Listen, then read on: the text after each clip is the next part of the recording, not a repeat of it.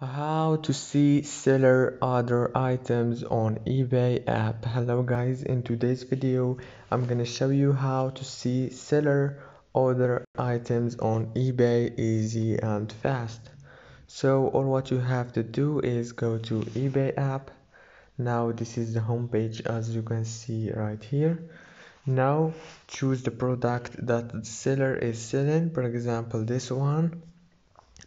Now let's say that you didn't like this product and you want to see other items that the seller is selling. All what you have to do is go down down down until you find about the seller option.